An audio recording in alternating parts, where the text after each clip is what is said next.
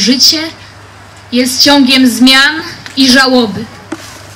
Śmierć jest jedną z wielu przemian. Rodząc się jesteśmy skazani na radzenie sobie ze śmiertelnością naszego ciała. Mamy nauczyć się je kochać, żeby pewnego dnia je opuścić. Nasze społeczeństwo dokłada wszelkich starań, by wmówić nam, że śmierć jest rzeczą najgorszą, najstraszniejszą, jaka może nam się przydarzyć. Życie na ziemi staje się więc lękiem o życie. Ostatni paradoks. Robiąc ze śmierci tabu, pozwalamy, aby wygrywał ciągły strach w obliczu nietrwałości naszego ciała. Tej nocy miałam sen. Szłam w towarzystwie Pana. Ślady na piasku przypominały drogę mojego życia. Ślady Pana i moje. Tak szliśmy obaj aż do końca wędrówki. Czasami tylko jedno odbicie było zaznaczone. To były ślady dni najtrudniejszych, dni największego strapienia, największego strachu, największego bólu. Zawołałam. Panie, powiedziałeś, że będziesz ze mną do końca moich dni. Obiecałeś, że mnie nie zostawisz. Zgodziłam się żyć z Tobą. Dlaczego zostawiłeś mnie samą w tak trudnych chwilach? Odpowiedział. Córko moja, powiedziałem Ci. Będę z Tobą do końca. Obiecałem, że Cię nie zostawię. Myślisz, że Cię opuściłem? Tego dnia, gdy widzisz na piasku tylko jeden ślad, ja Ciebie niosłem. Jezu, Maryjo, już mnie śmierć ocienia bliska. Już słyszę, jak mnie głos Twój woła. Już to wiem. Nie przez rwące się tchnienia znamie, nie przez chłód w sercu, rosę czoła. Zmiłuj się, Jezu, Maryjo, proś za mną. Ale że czuję, jak nigdy na tej drodze. Bądź przy mnie, Panie, nad taką otchłanią, że już mnie nie będzie, że już odchodzę i przez to dziwne wewnątrz spustoszenie.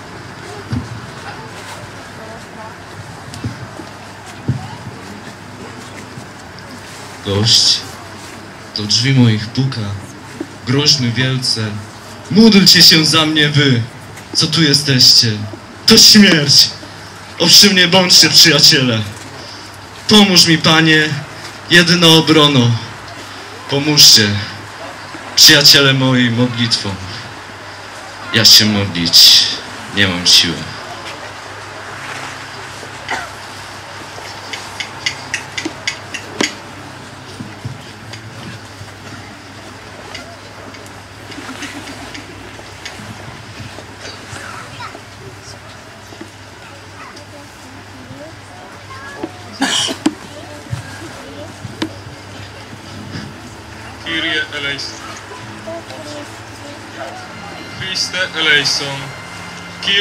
Kyrie eleison.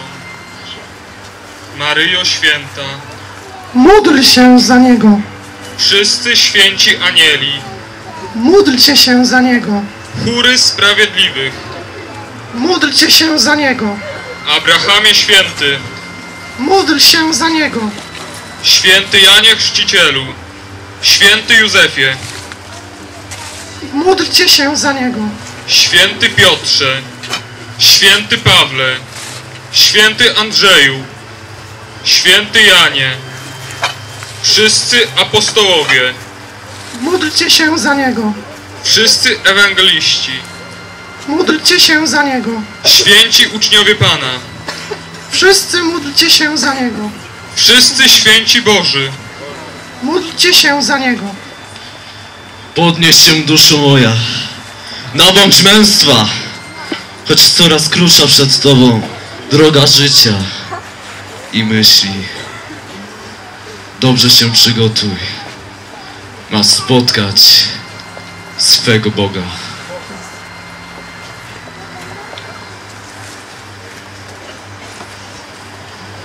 Zmiłuj się nad nim i ocal go, Panie. Zmiłuj się, Panie, ocal swego sługę.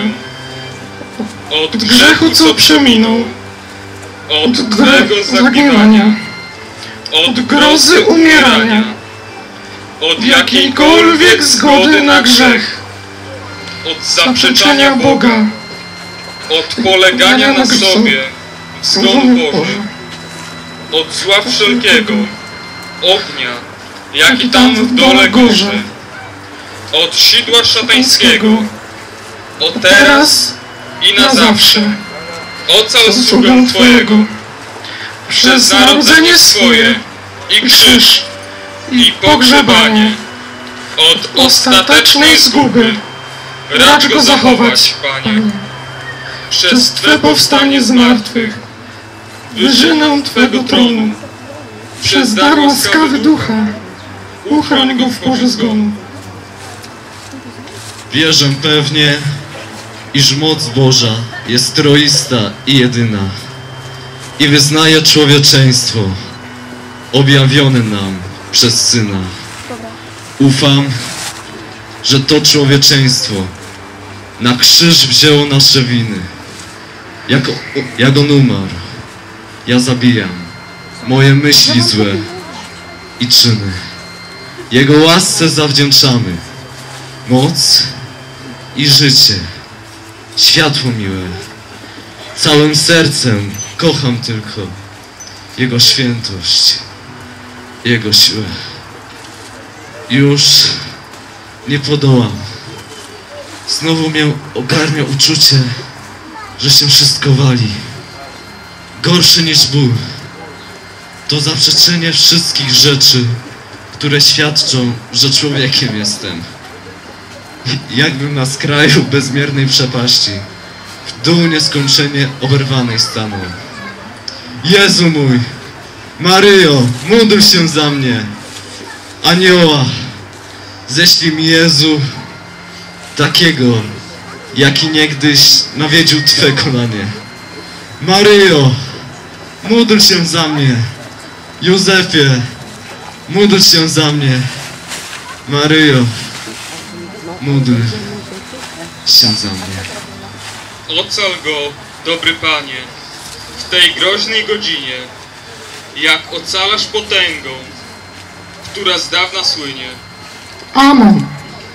jak Enocha, Eliasza ustrzegłeś od zgonu, Amen. Noego z wód wywiodłeś do cichego schronu, Amen. Abrahama, znawały pogaństwa sprośnego, Amen. a Hioba ocaliłeś od niedoli jego, Amen. Izaaka, gdy ojca nóż się zniósł do ciosu, Amen. Lota, od wyrocznego z sodomitów losu, Amen. Mojżesza z ziemi, w której jarzmo ludzi łamie, Amen. Daniela, od szczerzących kły lwów w ciemnej jamie, Amen.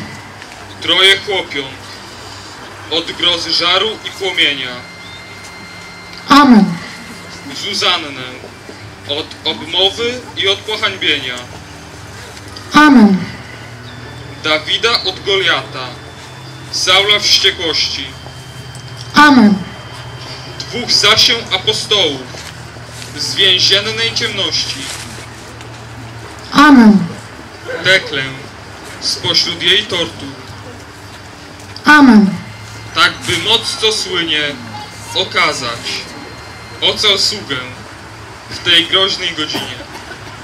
Novissima chora est. Ostatnia to godzina. Jakżebym chciał już zasnąć. Ból mnie utrudził. W Twoje ręce, Panie w ręce twe.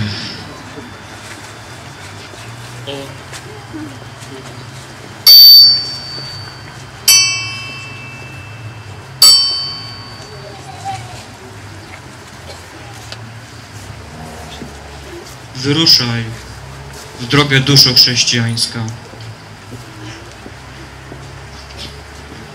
Wyruszaj w drogę duszo chrześcijańska w imię Boga, Ojca Wszechmogącego, który jest Twoim Stworzycielem.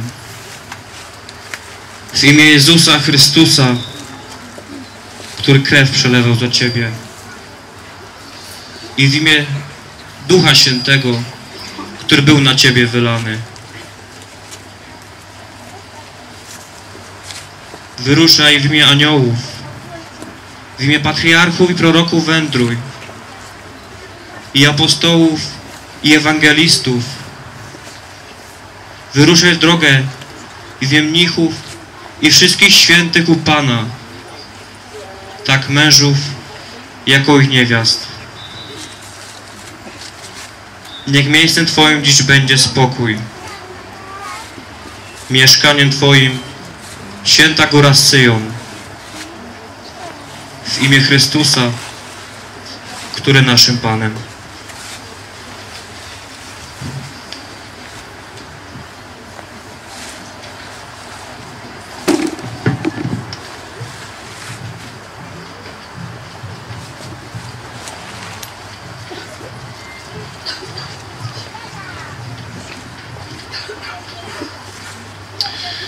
Chwili zejścia do grobu będę mógł powiedzieć: Zakończyłem pracę, a nie skończyłem życie. Grób nie jest ślepą ulicą, jest przejściem, które zamyka się na zmrok i otwiera na jutrzenkę. Nie bądźmy niesprawiedliwi wobec śmierci. To nie jest niszczenie, ani fatalna pułapka. Nie trzeba wierzyć, że tam, w cieniu otwartego grobu, wszystko jest dla nas stracone. Jest to miejsce, gdzie wyzwolona dusza odnajduje swoje spełnienie. Jest wolna od ciała, od potrzeb.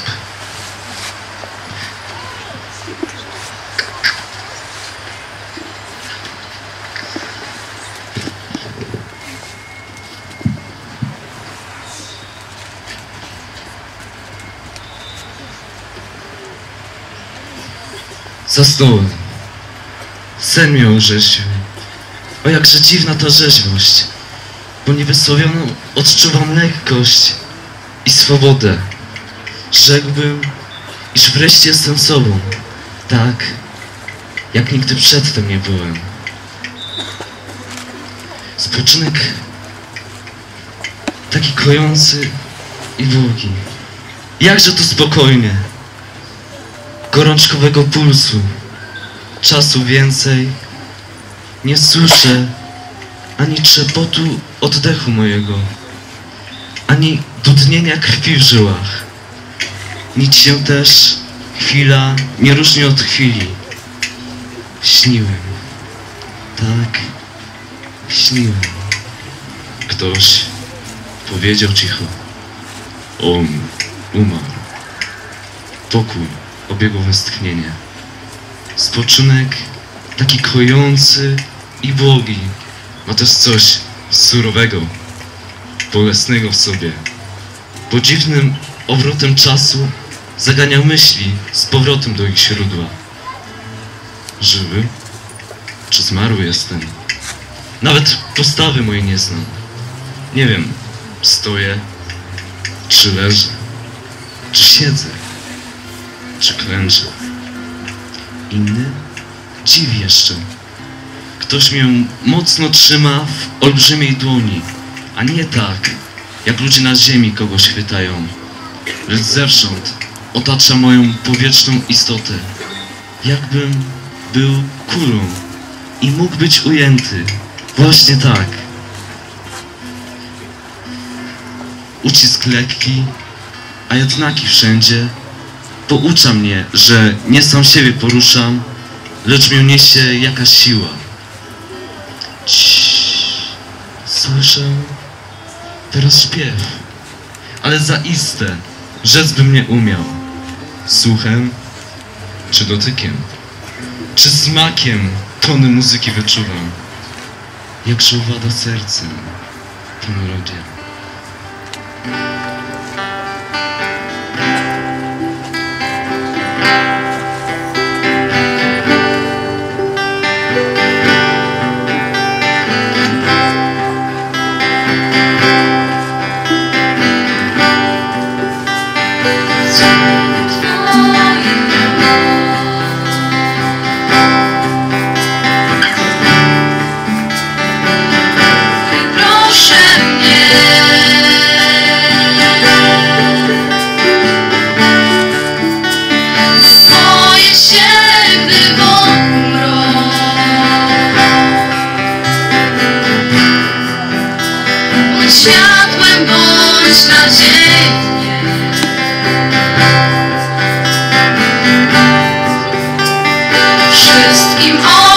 Czym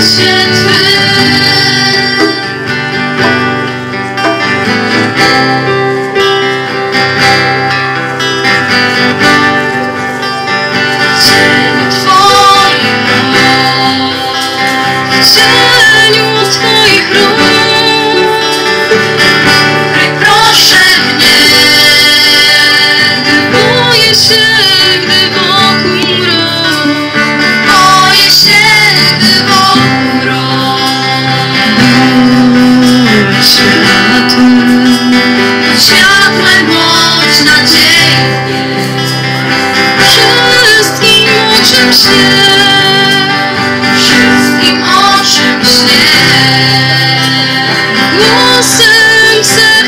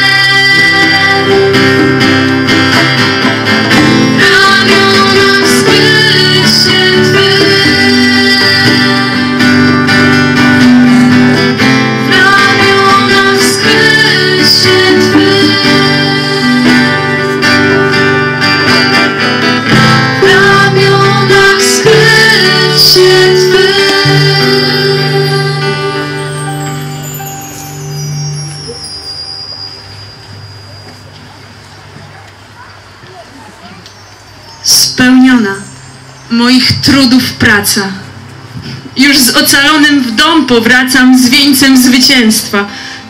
Alleluja. Na zawsze już. On jest rodziny tych wspaniałych istot, które nim światły rozbłysły miliony wieków wstecz, stały wokół tronu Boga. Nigdy nie zaznał grzechu, a przez wszystkie niemal obroty czasu patrzał w oblicze Pana i pił z wiecznego zdroju prawdy, służąc Bogu w gorliwej miłości, в экстазе. Снув.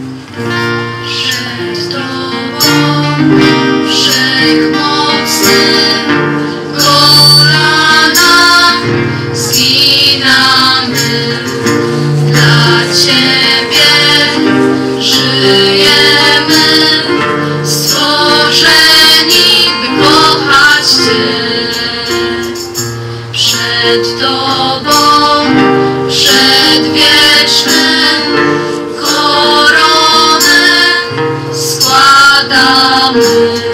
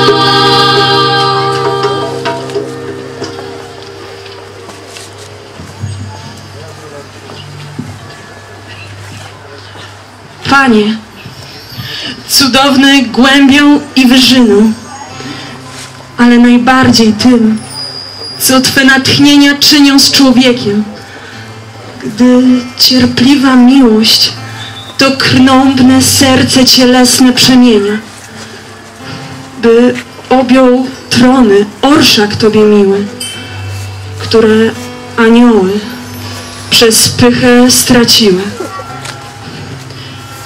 Jakżeby mogła niebiańska natura pojąć istotę, co z ducha i z gliny złożona, gdyby nam nie nakazano trwać przy niej każdej na ziemi godziny. Bardziej niż seraf, niż ten, co wzniesiony, anioł stróż, kocha, zna ród odkupiony. Teraz niechybnie wiem, że poza ciałem jestem. Bo gdybym miał wspólnotę z ziemią, uznałbym chłonąc te dźwięki, iż bóstwem jest głos śpiewający tam melodyjnie.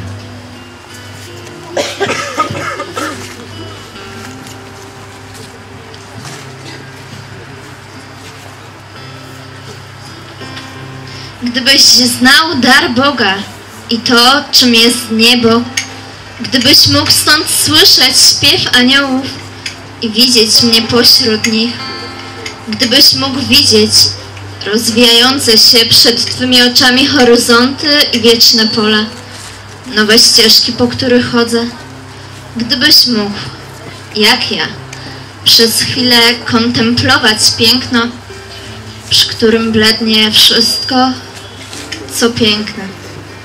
Uwierz mi, kiedy śmierć przyjdzie zniszczyć Twe więzi, tak jak zniszczyła te, które mnie wiązały. Kiedy pewnego dnia, który Bóg zna i który ustalił, Twoja dusza przyjdzie do nieba, gdzie przywitają moje, tego dnia ujrzysz tego, który Cię kochał i który wciąż Cię kocha. Nie czekając już na śmierć, ale posuwając się naprzód z chwili na chwilę, zobaczysz mnie więc przemienionego w szczęściu i zachwycie. Otrzyj Twe łzy i nie płacz, jeśli mnie kochasz.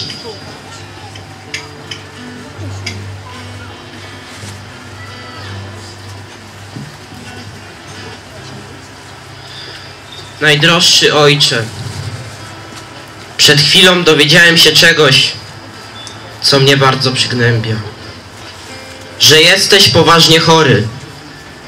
Z jakże gorącym pragnieniem czekam na uspokajającą wiadomość od Ciebie. Jako, że śmierć jest ostatnim etapem naszego życia, tak się zżyłem z tą prawdziwą i doskonałą przyjaciółką człowieka, że jej obraz nie tylko mnie nie przeraża, ale raczej jest dla mnie czymś uspokajającym i pocieszającym. Dziękuję Bogu, że dał mi szczęście widzieć w niej klucz do naszej prawdziwej szczęśliwości. Nigdy nie kładę się spać bez myśli, że być może jutro już mnie tu nie będzie. Dowiedziawszy się o smutnym odejściu mojego najlepszego przyjaciela, miał dokładnie 14 lat, jak ja. Nie żałuję go, nie jego, ale siebie żałuję. Całym sercem, tak jak wszyscy jego bliscy. Mam nadzieję i życzę sobie, żebyś podczas gdy to piszę, poczuł się lepiej.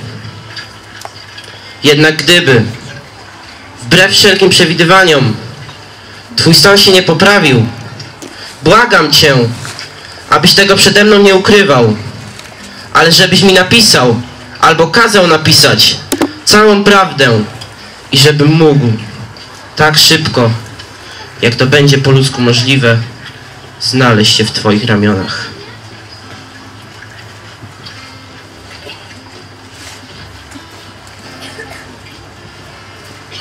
Chcę doń przemówić o mocarzu, duchu, który mnie strzeżesz. Witaj. Witaj, dziecię. Dziecię i bracie mój. Czegoś zapragnął. Niczego.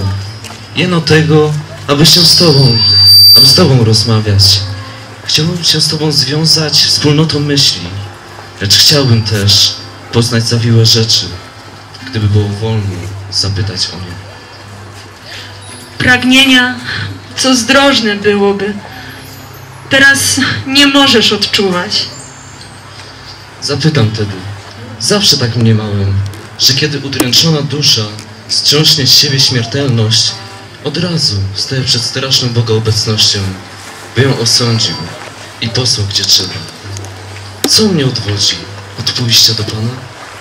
Nic ci nie odwodzi, lecz jak najprędzej gnasz na spotkanie swym, ze swym świętym i sprawiedliwym sędzią, boś zaledwie wyszedł ze swego ciała. Tylko energia własna twojej myśli trzyma cię z dala od Boga. Dlaczego? Powiedz, aniele drogi. Żadnej teraz przed tym spotkaniem nie czuję bojaźni. Teraz, gdy pora nadeszła, lęk umknął. Ważenia mojej doli, teraz, kiedy ono tak bliskie jest, z radością cichą czekam. To dlatego, żeś zawsze lękał się sądu. Teraz się nie boisz, żeś przezwyciężył to. Teraz gorycz śmierci cię nie dotyka. A także przeto, że się już w twej duszy sąd zaczął.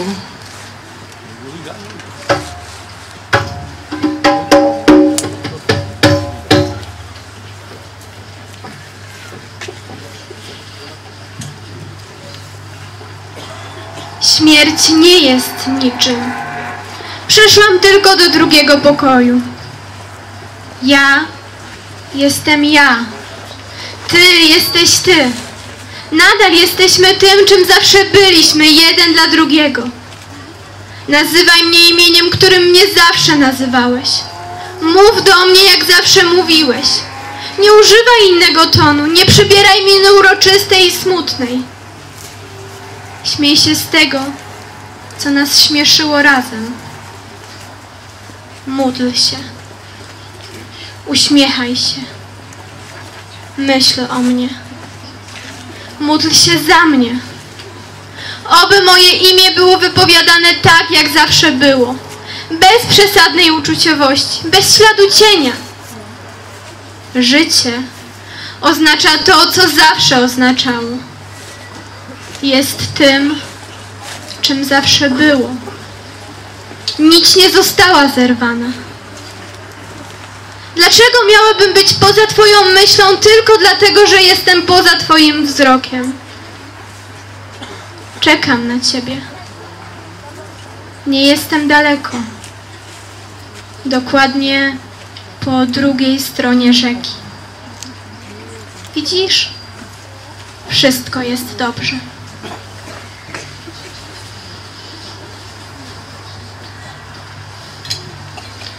Kiedy nocą spojrzysz w niebo, będziesz miał wrażenie, jakby śmiały się wszystkie gwiazdy, ponieważ ja będę mieszkał i śmiał się na jednej z nich. Będziesz miał gwiazdy, które potrafią się śmiać.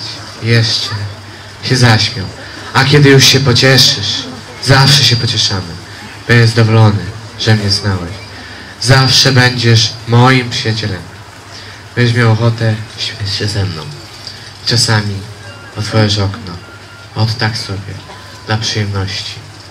A twoi przyjaciele będą bardzo zdziwieni, jak się śmiejesz, patrząc w niebo.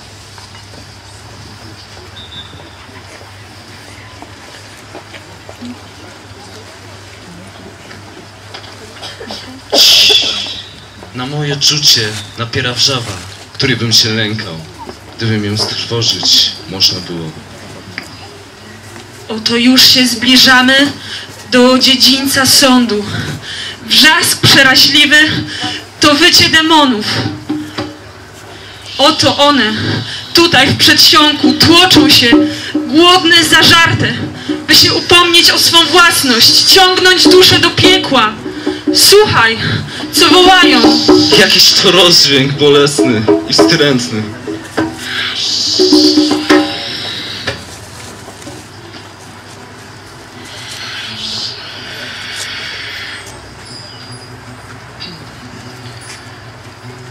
Podłe grudy niskiej ziemi chciałyby się stać bogami. Poprzez nowe narodzenie, poprzez łaskę darmodaną, marnych zasług gromadzenie, by zabłysnąć ponad nami. Jakby mogli zaćmić podle wielkich duchów myśl wysoką, zgasić ogień w dumnym oku górnych potęg, prawowitych pierwszych władców, w złototliwych dworach światła, tych mocarzy, potępionych, odrzuconych i strąconych. Mocą gołą. Kiedy tyran zmarszczył czoło, gdy w nim nagły gniew przeważył, gdy bezprawny, triumfalny dał te trony i korony. To jest ich bytu oddech niecierpliwy. Tak bestie dzikie wpędzone do klatki.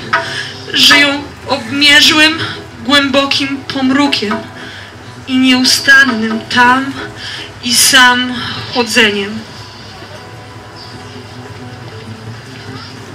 Występek i cnota to łotrów złudzenie. Z jednego są błota. Udręki płomienie, jad piekła przeklęty, to tchórza wymówka. Zapłacić mu trzeba, choć takie święty. Ha, ha, ha, ha. Przebiegły haruje wytrwale dla nieba. On tylko chce zdobyć niebios wspaniałości. Haruje dla zysku. Wcale nie z miłości.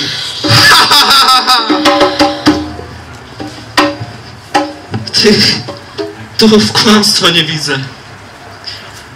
Czy ujrzę mojego Pana umiłowanego, kiedy dosięgnę Jego tronu?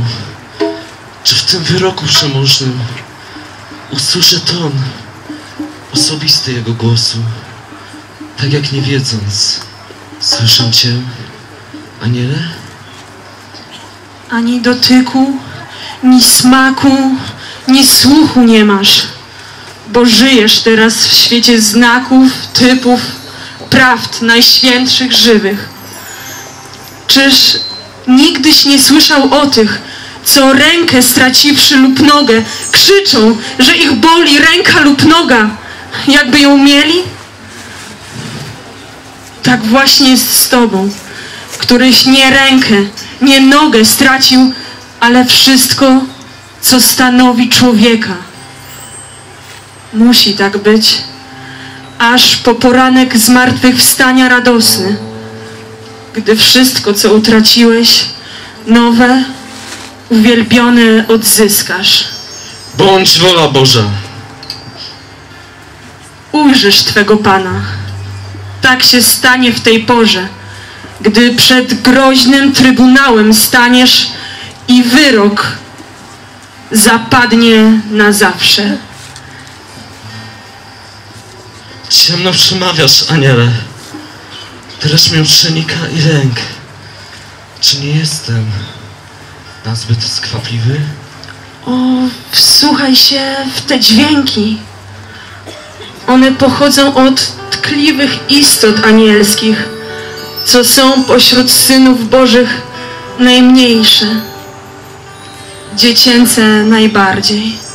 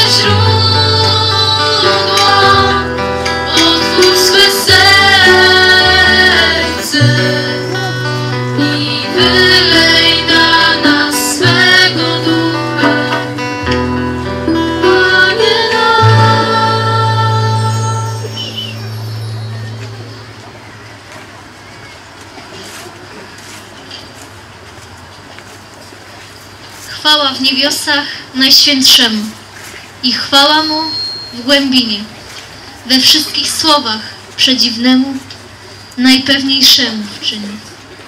Nam, starszym tworom swym, pozwolił zwyciężać bez cierpienia, bez chłosty bólu, bez udręki, bez skazy przewinienia.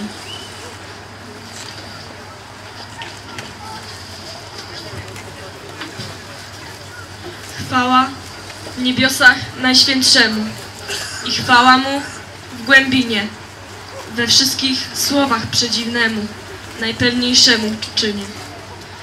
Chwała temu, który z błota, dzień za dniem, coraz dalej, pracą cierpliwą wiódł ku życiu ten lud, ku swojej chwale. Ten śpiew jest jak szum wiatru przeogromny. Dniu lata, wiatru wśród wysokich sosen.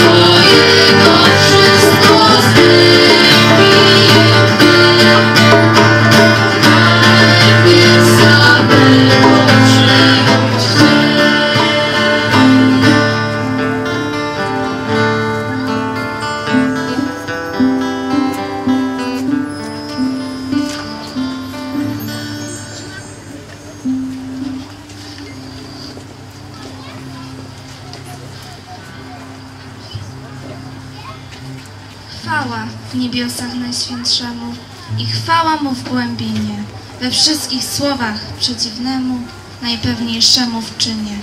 Od razu, jak przystało duchom, próbie byli anieli, poddani, doskonali w niebie, miejsce swoje zajęli. I dla nich brzaski albo zmierzchy, wzrastanie, upadanie, noc jeno, beznadziejna, czarna, albo dnia królowanie. O chwała temu, który wszystko na sprawiedliwej szali kładzie, wyrywa duszę z więzów i plamy jej wypali. Kiedy więc, jeśli ci to przeznaczone, ujrzysz sędziego, jego widok wzbudzi myśli w twym sercu czułe i miłości i uwielbienia pełne. Miłość tobą owładnie, będziesz odtąd tęsknił za nim. Będziesz miał takie uczucie, jak gdybyś mógł jeno żalić się, że ktoś tak błogi siebie samego tak krzywdził. Pozwalał, aby istota jak ty podła jemu takie zniewagi wyrządziła podłe. Duszę mą trzyma w mojej dłoni, żadnej nie czuję trwogi, jednako na dole i na niedole w Jego błogiej mocy przygotowany. Lecz cóż to? Ogromna, a tajemnicza muzyka mnie zewsząd ogarnia. Rzekłbyś, szum głęboki, wielu wód uroczysty.